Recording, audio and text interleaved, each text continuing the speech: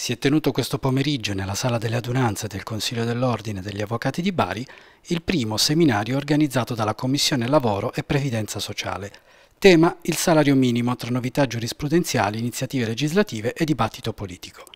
Ad introdurre i lavori il presidente dell'Ordine degli Avvocati, Salvatore D'Aluiso, con la presidente della sezione lavoro del Tribunale di Bari, la dottoressa Maria Luisa Traversa. L'avvocata Federica Romani spiega le ragioni di questo incontro. Salario minimo è stato scelto come il primo argomento oggetto di, di questo incontro formativo organizzato dalla Commissione Lavoro e Previdenza Sociale dell'Ordine degli Avvocati di Bari, eh, proprio per l'intenso dibattito politico che c'è sull'argomento, ma soprattutto per le recentissime sentenze della giurisprudenza di legittimità, a cui sono seguite giurisprudenze di merito, da ultimo proprio quella del Tribunale di Bari, che confermando quella che è la natura precettiva dell'articolo 36 6 della Costituzione ehm, un fa un passo in avanti, affida a quella che è i giudici eh, la determinazione della giusta retribuzione eh, lì dove il contratto collettivo applicato al caso di specie non eh, garantisce gli indici della proporzionalità e della sufficienza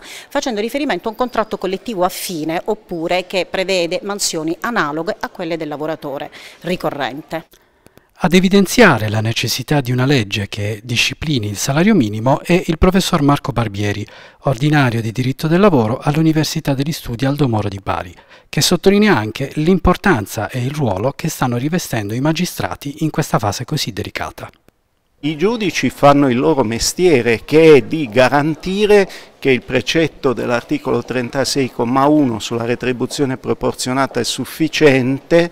precetto costituzionale sia effettivamente osservato, non potrebbero fare diversamente. Io sono stato molto stupito quando ho visto la sentenza che poi la Cassazione appunto ha censurato della Corte d'Appello di Torino che diceva se c'è un contratto collettivo che lo prevede allora va bene, ma il contratto collettivo come la legge sono entrambi soggetti alle norme costituzionali, quindi è naturale che in presenza di una situazione nuova dove il contratto collettivo non garantisce più quella retribuzione sufficiente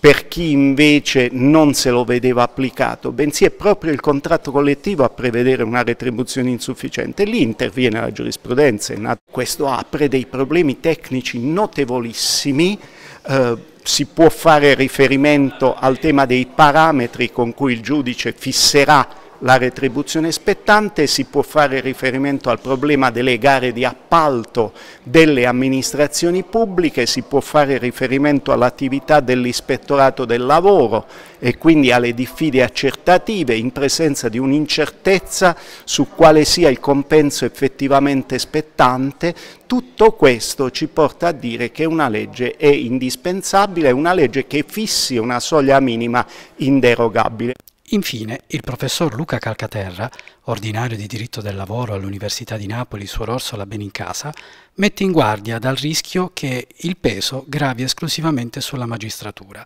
e chiarisce ulteriormente che la giurisprudenza non sta andando in direzioni diverse dal passato. Allora, la giurisprudenza non sta andando in nessun posto particolarmente nuovo, la giurisprudenza va in questa direzione da sempre e ci sono giudizi molto risalenti che riguardano questo stesso orientamento che è stato nel corso degli anni precisato, affinato, rafforzato. Oggi queste sentenze richiamano l'attenzione perché in alcuni passaggi si legge molto chiaramente un invito a intervenire, quasi una, una chiamata in aiuto, perché, perché i magistrati sono consapevoli che il compito sarebbe eh, quasi insormontabile, cioè la magistratura si troverebbe eh, letteralmente travolta dal numero di cause e tra l'altro con esiti anche imprevedibili perché eh, ogni storia fa parte a sé e sappiamo che nel nostro ordinamento il precedente ha un valore del tutto limitato.